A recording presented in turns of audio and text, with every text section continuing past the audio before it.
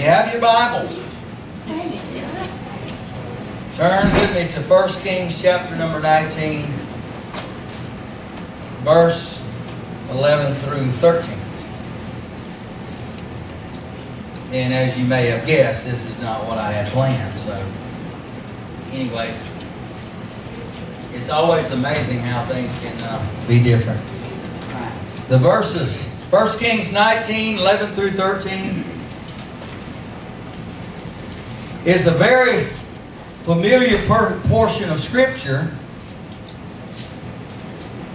Everybody have that? Just say amen. Amen. All right, here we go. And he said, Go forth and stand upon the mount before the Lord, and behold, the Lord passed by.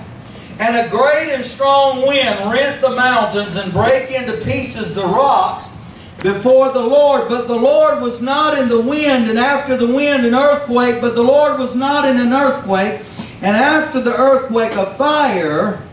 But the Lord was not in the fire, and after the fire a still small voice. And it was so when Elijah heard it that he wrapped his face in his mantle and went out and stood in, in the entering of the cave. And behold, there came a voice unto him and said, What doest thou here, Elijah? Let's pray. Father, in the name of Jesus, we just ask for your sweet anointing today, God. We just ask for your spirit to preach today, God. We're not able to do anything unless you help us today, God. And we just ask you to hide behind us, hide us behind the cross today that only you can be seen. Lord, let this word, let it touch our heart and draw us closer to you. Lord, we ask you first and foremost, God, to prepare the soil that this seed's about to go in, go into, God. Prepare it right now. In Jesus' wonderful name. And everybody says amen. Amen. Praise the Lord. So, here's what the Lord was kind of showing me. You remember the Mount Carmel experience. This is right after then. How many remembers he killed many of the prophets of groves and the prophets of Baal that he killed that day, and God used him mightily. It was a great victory for God. Yes. And how many knows after that great victory, then, and we always say this, the enemy always raises up his ugly head. Yep. And so Jezebel got the word and she sent back a message to the prophet saying, I'm going to kill you by this day tomorrow. I want everybody to hear me. You better guard yourself greatest after your great victory because the enemy's coming. Amen. And he's wanting to put you in a place, but he'll put you in a cave somewhere. Yep. Amen? Amen. He had just saw the fire of God fall. He had just prayed and saw the fire lick up the water out of the trough. He had just saw a miracle from a first-hand experience. He just saw everything that happened. And now this lady, call her queen or king, president or, never mind, don't go all that. Somebody catch that after a while. Anyway, that Jezebel spirit always tries to get a hold on it. Always tries to stir things up. Yes. So then, he gets word, and he's just seen all that, and then he goes to pieces. You know why that is? Because after the battle, you're tired. After ba- the battle, the first thing you need to do is go run to the Lord and get strength. Hide up under His shadow of His wings. You need to run to the Lord and get covering so you can get where you need to be because you can't take an attack from the enemy because you've just been through a battle. Amen. Amen. Every battle is not your battle. That's right. You ain't got to fight it. If you're fighting every battle, you're fighting somebody else's battle. This is good preaching if somebody catch it this morning. Yes. We're overloaded with everybody else's problems. And I'm not meaning that's bad. I'm not trying to do anything away with that. But what happens is, instead of exceeding our faith to raise their problems up, we let their problems push us down. Yeah, that's right. Amen? So the Lord is trying to talk to us. And listen, I just, let me go ahead and give you this phrase because I don't know if you'll hear it again and you got to at least hear it this one time. The last part of this is what kind of spoke to me more than anything else. In verse number 13. And it was so when Elijah heard it that he wrapped his face in his mantle and he went out and stood in the entering of the cave. And behold, there came a voice unto him and said, What doest thou here, Elijah? That's what I feel like in this church. We're in a cave. We got a message. We got the greatest message ever for mankind, and we keep it inside of this cave. What are we doing in here? We're supposed to be out there. What are we doing in here? Amen. That's just a thought. That's one thought. That's not what we're preaching about, but just think about it. what are we doing in here? Well, if we're going to meet in here, we need to approach this as like it is. This is God's house, and whenever we come in here, it's for us to get recharged, rejuvenated, energized, spirit filled, again overflowing to get the presence of God into our life so that whenever we go back into this world, we can take Jesus to them. Amen. Instead of coming in, I made a, a, statement during the prayer, and we better pay attention to this this morning. We better not let this house right here turn into our living room. Yes. If we do, it stops being God's house and it's not holy anymore, and God won't move in here. That's right. That's right. That's just a fact, Jack. I ain't said that in a long time. Praise God, that was an old saying, wasn't it? Yes, it was. Very old saying. Praise God. So, what are we what are we doing in here? Well, if we're coming in here, we need to be doing God's business. Yes. Amen. And in doing that, we're going to raise up and build up and edify the church, the children.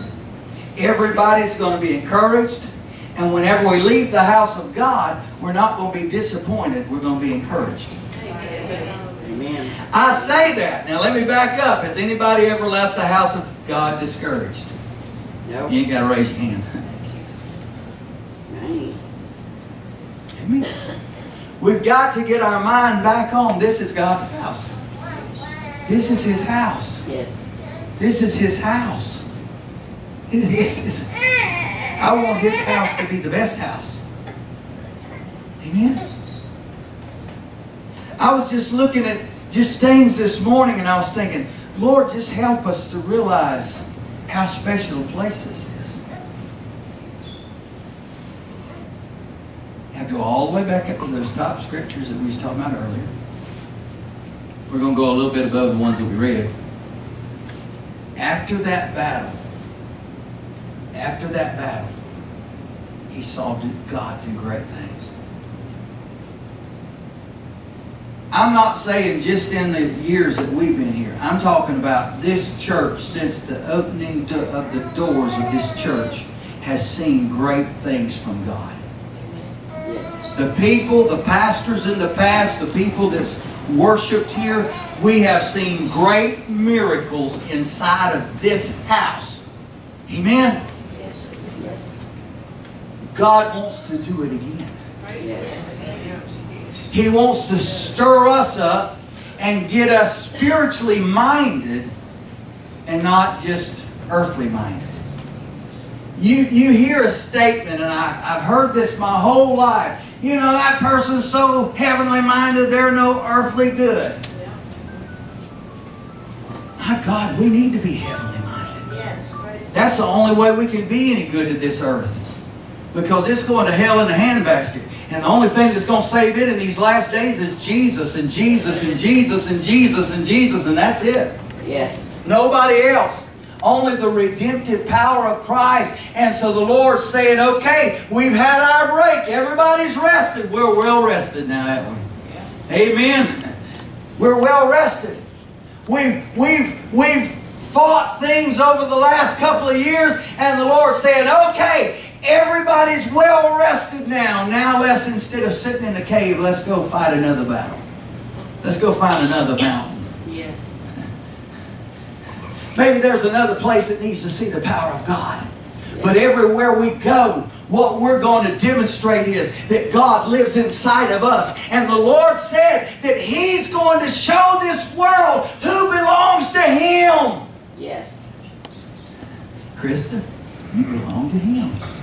Brother James, you belong to the Lord. Sister Faye, you belong to the Lord. Brother Ricky, you belong to the Lord. Sister Wendy, you belong to the Lord. Michaela, Sister Michaela, you belong to the Lord. Who's that back there, Brother Wesley? Better get my glasses on. He belongs to the Lord. Do we realize that, Sister D? You belong to the Lord. Sarah, you belong to the Lord. Jennifer, you belong to the Lord. Jason, you belong to the Lord. Praise God.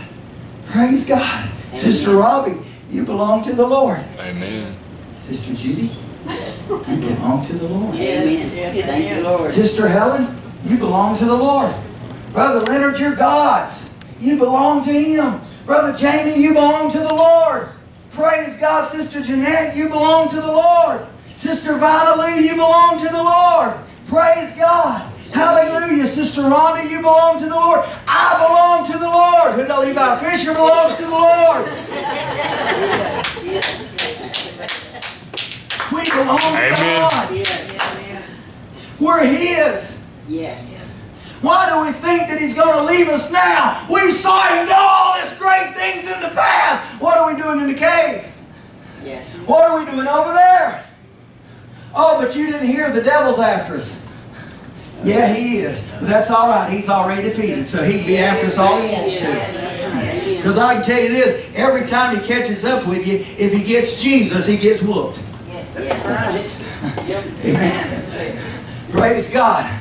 I don't know if that's quite scriptural or not, but that's true. Amen. We're getting back to the position that we say, God, make us alive. I want to be alive again.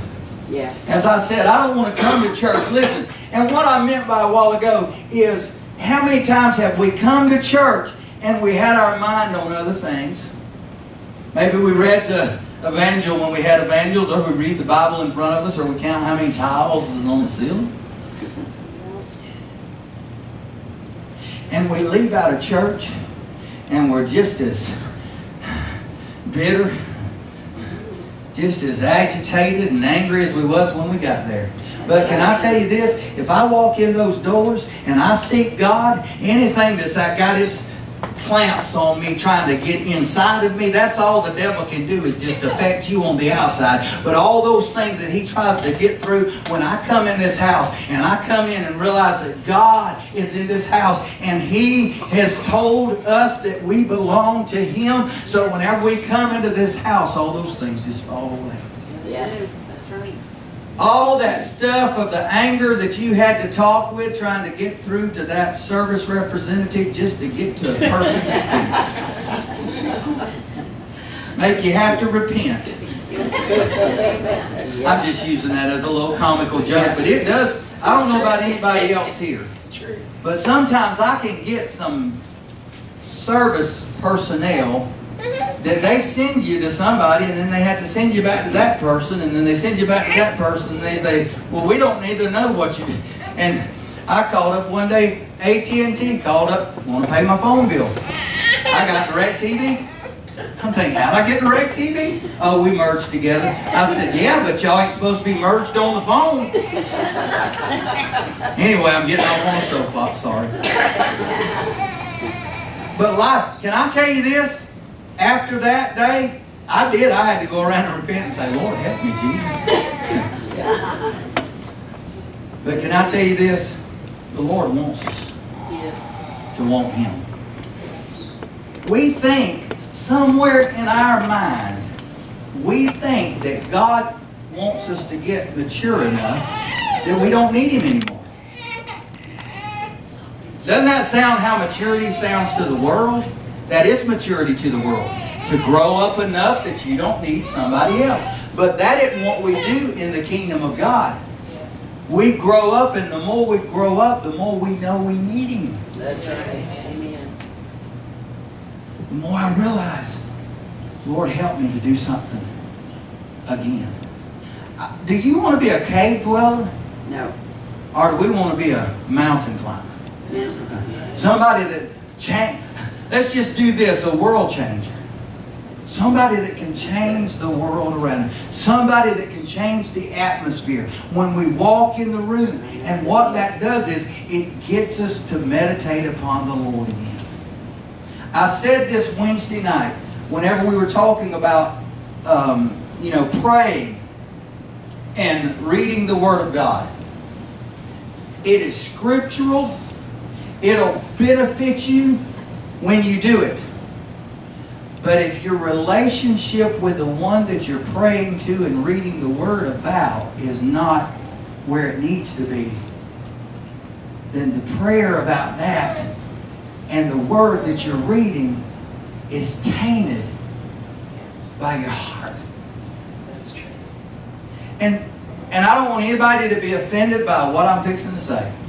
That's how I feel like we all are. We're trying to get back to that place where we're in tune with God again, where we're intimate with the Lord, where we know when it's the Lord, when we when we know when He says move. And we're seeing, even this morning, I'm beginning to see how God's been, how God's been lining things up and and, and He's wanting us to get into a, a, a deeper relationship with Him, but yet also to be strong. Amen. And I see this morning how the enemy comes in.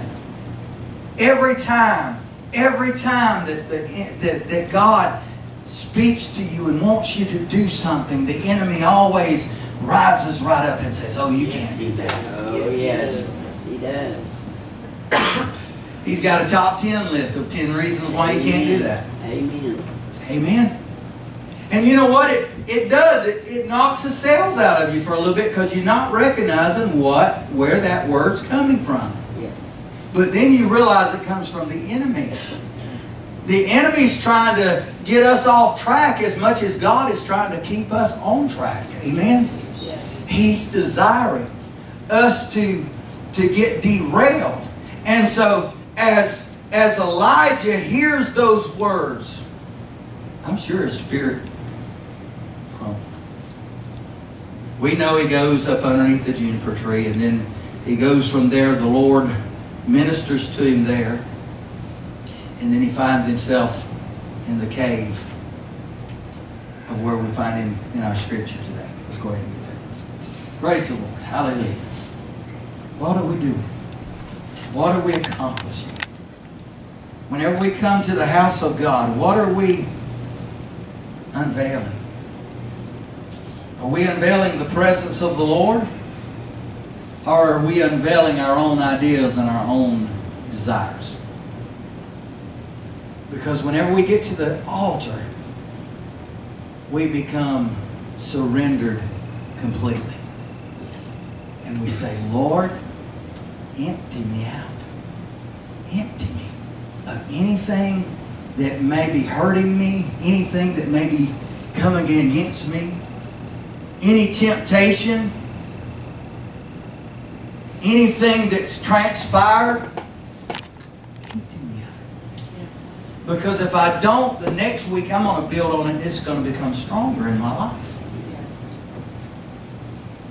We're not wanting to get bound by sin. We're wanting to be set free by the blood of Jesus. We are not children of darkness. We are children of light. Yes. Amen. So we need to stop walking in darkness and walking in shadows and start walking in the Word of God and what God has spoken. And believe His Word to be yea and amen. I told the church Wednesday night the reason we went into the worship part of it was because I felt like our church was spiritually being attacked of people physically. In our church and things that were going on. And I just said, hey, we got to get more prayer. We've got to do something. And the ladies had already been in the Bible study talking about having prayer as well. But I'm realizing this is the house of prayer. Yes. Amen. This is God's house. We don't want it to be a den of thieves. I don't want to, listen, I don't want it to be a place that I just come in and throw my offering here and then leave out. I want this to be God's presence, His house, it to be a special place that whenever we come in here and we get around this altar and we begin to pray or we pray for the sick, that we recognize that holiness of God, but then it puts in us a desire to want to become more holy ourselves. Yes. You know, we're seeing a lot of things in churches today. You, you pretty much see rock concerts, you pretty much see um, dramas, you see everything in churches today. We need to make it a house of prayer again. You know, you've heard me go through the little thing about prayer before, saying, okay, you know, if we're going to pay 10% of our tithes, let's give 10% of our time to the Lord in Yes, prayer. Right. or in the Word. That's just my own thoughts. You know, you always look at tithing on anything, and and that that just say just just use it just a little bit. Well, Lord, do I give you any amount? Do I give you an amount that is my reasonable service? I don't want to do less than enough. Man, wouldn't that be something to get up in heaven and says, ah, you didn't do quite enough. Ah. You think we were going to try to get by the skin of our teeth?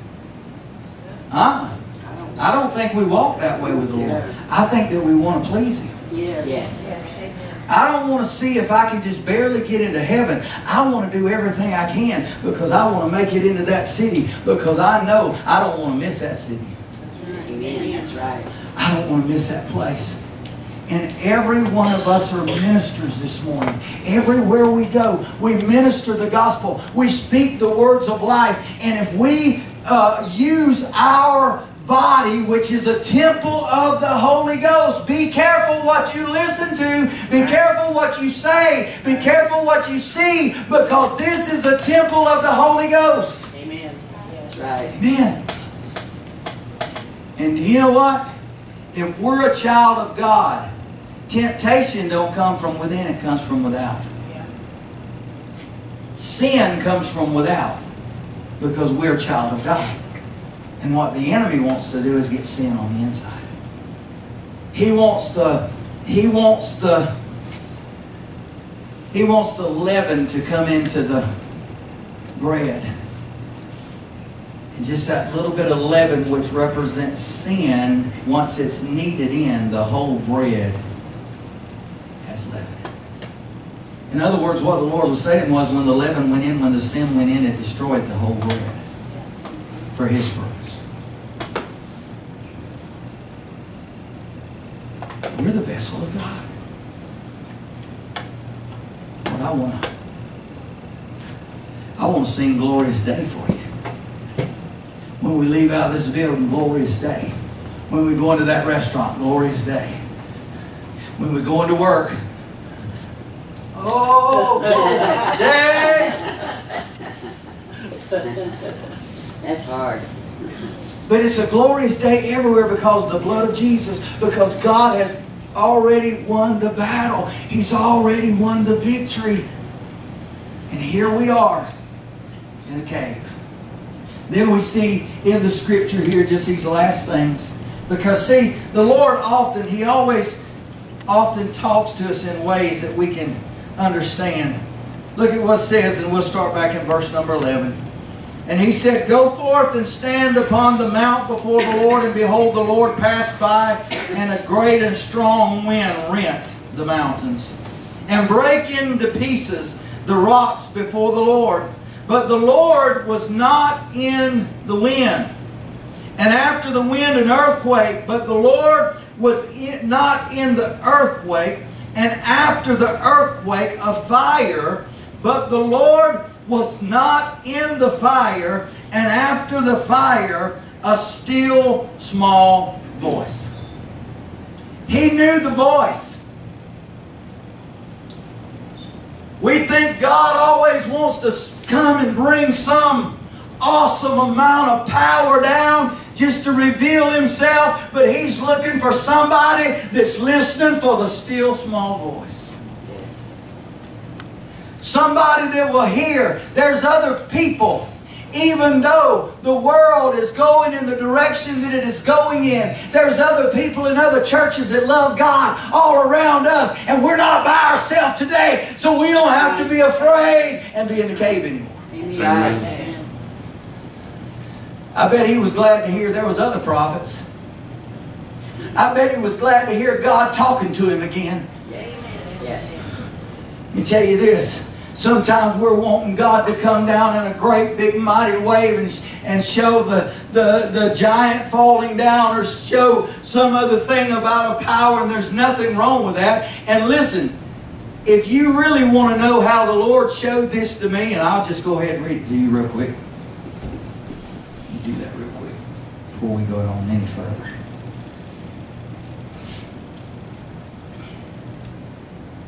Behold, the Lord passed by, and a great and strong wind rent in the mountain, and brake into pieces the rocks before the Lord, but the Lord was not in the wind.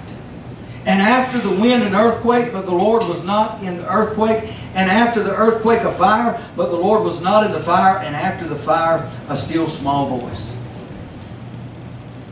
Every one of those things he spoke about in the Old Testament represents how God brought somebody out through the fire, through the flood. We see how the Lord can be in those things. But we just don't say it's the flood, it's the Lord. See, that's where we got to make the identifying is. It's not about his gifts. It's about the giver. Yes. See, we're seeking sometimes after gifts and seeking after this or after that. And the Lord saying, Will you just look right here? I am the giver. If you seek me, the gifts I will give you liberally. Yes. Isn't that what the Bible said? But we're going just trying to seek after this or that. And do you know what the Bible says? If we seek after God, pretty soon the Bible said that the people that are seeking after God, they will start seeking after the gifts and not the giver. The gifts and not the giver. I'm going to tell you something. The gifts are wonderful, but it's the person that gives it that makes it important. Amen. I don't care what it is. I got a, I got a granddaughter back there that loves to draw. And sometimes she can draw some things and he just nailed it. And sometimes she can draw some things and I'm thinking, what is that? But you know what? She drew it for me. That's right. And you know what? I don't care what it looks like. Because it's mine. It was who it's from. That paper is pretty much useless. Valueless. Crayons pretty much valueless. But the heart that drew it. That's right. The heart that wrote the word. That's right. I said the heart, the Lamb of God, Jesus Christ, our Savior, the Word made flesh that dwelt among us, Amen. has given us the authority and the power to walk in the gloriousness, the glorious of the Lord. Yes.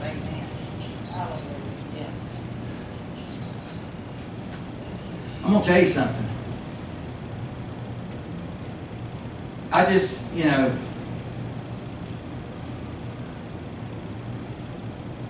I felt as I was feeling like that our church had been kind of, as I said, spiritually under attack. You know, my spirit, just just me. This is what I said. Sometimes life's hard, isn't it? Sometimes it hurts. Sometimes life hurts. Yes, it does. Amen? Sometimes you go through some things that you wish you just didn't have to go through. Amen. Everything ain't cotton candy and roses.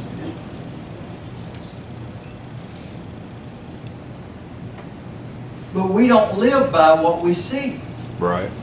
we don't live by what's next to us. We live by the fact that we are a child of God and whatever we go through, God will go with it through us. So I'm never by myself. He will carry me. He will deliver me out of it, whatever God chooses to do. But He will see me through it. And so the, the, the thing that I'm trying to show you is it's not about, it's about Him being with you through it. Amen.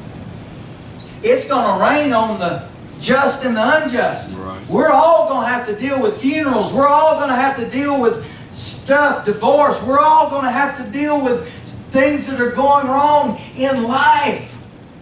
But whatever those issues are, I want God to be with me because the alternative is to be by myself.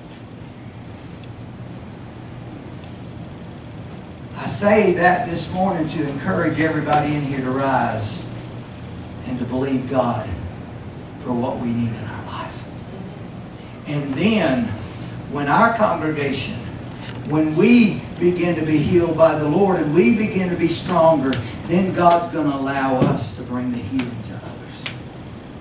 But it's time to get out of the cave. Amen. It's time to get out of the cave. The still small voice. The still small voice. The still small voice. Lord, we love you and we thank you today. We ask you right now to touch our heart and draw us closer to you. Lord, we're in the last days. There's no doubt about that, God. And we know, Lord Jesus, that we're all under attack of the enemy, Lord, that there's things in all of our lives. And Lord, I ask you this morning to let us see our outlook from a different perspective, and that is from your eyes this morning, Lord. There's nothing that we're going through, there's nothing that we're going to face, God, that's going to be over our head because it's going to be under our feet. Because, Lord, it's under your feet today. I don't see it yet.